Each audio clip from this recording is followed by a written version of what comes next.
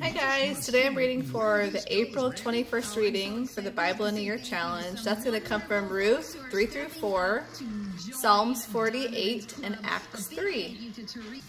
Ruth chapter 3 Ruth at the threshing floor. One day Naomi said to Ruth, My daughter, it's time that I found a permanent home for you so that you will be provided for. Boaz is a close relative of ours, and he has been very kind by letting you gather grain with his workers. Tonight he'll be winnowing barley at the threshing floor. Now do as I tell you, take a bath and put on perfume and dress in your nicest clothes. Then go to the threshing floor, and don't let Boaz see you until he has finished his meal. Be sure to notice where he lies down, then go and uncover his feet and lie down there. He will tell you what to do. I will do everything you say, Ruth replied. So she went down to the threshing floor that night and followed the instructions of her mother-in-law. After Boaz had finished his meal and was in good spirits, he lay down beside the heap of grain and went to sleep. Then Ruth came quietly, uncovered his feet, and lay down. Around midnight, Boaz suddenly woke up and turned over. He was surprised to find a woman lying at his feet. Who are you? he demanded. I am your servant Ruth, she replied. Spread the corner of your covering over me, for you are my family redeemer. The Lord bless you, my daughter, Boaz exclaimed. You are showing more family loyalty now than ever by not running after a younger man, whether rich or poor. Now don't worry about a thing, my daughter. I will do what is necessary, for everyone in town knows you are an honorable woman. But there is one problem. While it is true that I am one of your family redeemers, there is another man who is more closely related to you than I am. Stay here tonight, and in the morning I will talk to him. If he is willing to redeem you, then let him marry you. But if he is not willing, then as surely as the Lord lives, I will marry you. Now lie down here until morning. So Ruth lay at Boaz's feet until the morning, but she got up before it was light enough for people to recognize each other. For Boaz said, No one must know that a woman was here at the threshing floor. Boaz also said to her, Bring your cloak and spread it out. He measured out six scoops of barley into the cloak and helped her put it on her back. Then Boaz returned to the town. When Ruth went back to her mother-in-law, Naomi asked, What happened to my daughter? Ruth told Naomi everything Boaz had done for her, and she added, He gave me these six scoops of barley and said, Don't go back to your mother-in-law empty-handed. Then Naomi said to her, Just be patient, my daughter, until we hear what happens. The man won't rest until he has followed through on this. He will settle it today. Chapter 4 Boaz marries Ruth. So Boaz went to the town gate and took a seat there. When the family redeemer he had mentioned came by, Boaz called out to him, Come over here, friend, I want to talk to you. So they sat down together. Then Boaz called ten leaders from the town and asked them to sit as witnesses. And Boaz said to the family redeemer, You know Naomi who came back from Moab. She is selling the land that belonged to our relative Elimelech. I felt that I should speak to you about it so that you can redeem it if you wish. If you want the land, then buy it here in the presence of these witnesses. But if you don't want it, let me know right away because I am next in line to redeem it after you. The man replied, All right, I'll redeem it. Then Boaz told him, Of course, your purchase of the land from Naomi also requires that you marry Ruth, the Moabite widow. That way she can have children who will carry on her husband's name and keep the land in the family. Then I can't redeem it, the family redeemer replied, because this might endanger my own estate. You redeem the land. I cannot do it. In those days, it was the custom in Israel for anyone transferring a right of purchase to remove his sandal and hand it to the other party. This publicly validated the transaction. So the other family redeemer drew off his sandal as he said to Boaz, You buy the land. Then Boaz said to the leaders and to the crowd standing around, You are witnesses that today I have bought from Naomi all the property of Elimelech, Kilion, and Mahlon. And with the land I have acquired Ruth, the Moabite widow of Mahlon, to be my wife. This way, she can have a son to carry on the family name of her dead husband and to inherit the family property here in his hometown. You are all witnesses today.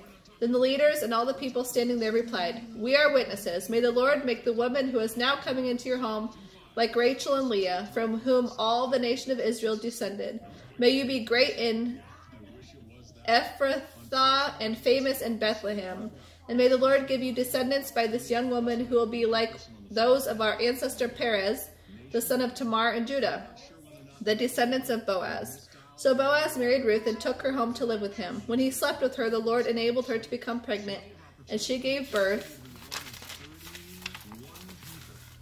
to a son. And the woman, women of the town said to Naomi, Praise the Lord who has given you a family redeemer today. May he be famous in Israel. May his child restore your youth and care for you in your old age, for he is the son of your daughter-in-law who loves you so much and who has better been better to you than seven sons. Naomi took care of the baby and cared for him as if he were her own. The neighbor woman, women said, Now at last Naomi has a son again, and they named him Obed. He became the father of Jesse and the grandfather of David. This is their family line, beginning in their ancestor, beginning with their ancestor Perez. Perez, Perez was the father of Hezron. Hezron was the father of Ram. Ram was the father of Amminadab. Amminadab was the father of Nahshon. Nahshon was the father of Sal Salmon. Salmon was the father of Boaz. Boaz was the father of Obed. Obed was the father of Jesse. Jesse was the father of David. And that's all for Ruth. All, that's all for the book of Ruth. Okay, Psalms 48. A psalm of the descendants of Korah, a song. How great is the Lord, and how much we should praise him in the city of our God, which is on his holy mountain. It is magnificent in elevation, the whole earth rejoices to see it. Mount Zion, the holy mountain, is the city of the great king. God himself is in Jerusalem's towers. He reveals himself as her defender. The kings of the earth joined forces and advanced against the city. But when they saw it, they were stunned. They were terrified and ran away. They were gripped with terror, like a woman writhing in the pain of childbirth, or like the mighty ships of Tarshish being shattered by a powerful east wind. We had heard of the city's glory, but now we have seen it ourselves. The city of the Lord Almighty, it is the city of our God. He will make it safe forever. O God, we meditate on your unfailing love as we worship in your temple. As your name deserves, O God, you will be praised to the ends of the earth. Your strong right hand is filled with victory. Let the people on Mount Zion rejoice. Let the towns of Judah be glad for your judgments are just. Go, inspect the city of Jerusalem, walk around and count the many towers. Take note of the fortified walls and tour all the citadels, that you may describe them to future generations. For that is what God is like. He is our God forever and ever, and he will be our guide until we die. And Acts chapter 3.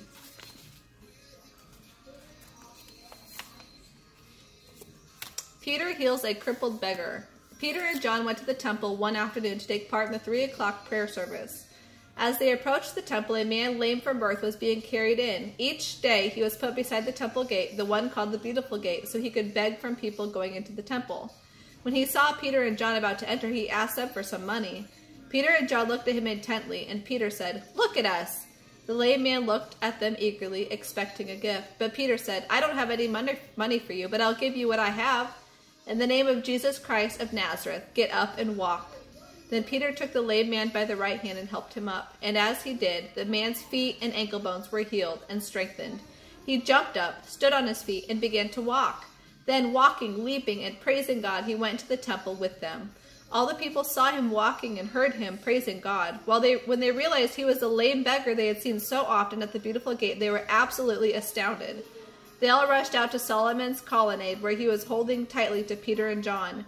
Everyone stood there in awe of the wonderful thing that had happened. Peter preaches in the temple. Peter saw his opportunity and addressed the crowd. People of Israel, he said, what is so astounding about this? And why look at us as though we had made this man walk by our own power and godliness? For it is the God of Abraham, the God of Isaac, the God of Jacob, the God of all our ancestors who has brought glory to his servant Jesus by doing this. This is the same Jesus whom you handed over and rejected before Pilate, despite Pilate's decision to release him. You rejected this holy, righteous one and instead demanded the release of a murderer. You killed the author of life, but God raised him to life, and we are witnesses of this fact. The name of Jesus has healed this man, and you know how lame he was before. Faith in Jesus' name has caused this healing before your very eyes. Friends, I realize that what you did to Jesus was done in ignorance, and the same can be said of your leaders. That God was fulfilling what all the prophets had declared about the Messiah beforehand, that he must suffer all these things. Now turn from your sins and turn to God, so you can be cleansed of your sins. Then wonderful times of refreshment will come from the presence of the, of the Lord, and he will send Jesus your Messiah to you again, for he must remain in heaven until the time for the final restoration of all things, as God promised long ago through his prophets. Moses said, The Lord your God will raise up a prophet like me from among your own people. Listen carefully to everything he tells you. Then Moses said, Anyone who will not listen to that prophet will be cut off from God's people and utterly destroyed. Starting with Samuel, every prophet spoke about what is happening today. You are the children of those prophets, and you are included in the covenant God promised to your ancestors. For God said to Abraham, Through your descendants, all the families on earth will be blessed. When God raised up his servant, he sent him first to you, people of Israel, to bless you by turning each of you back from your sinful ways. That is all for today's reading. I will see you next time.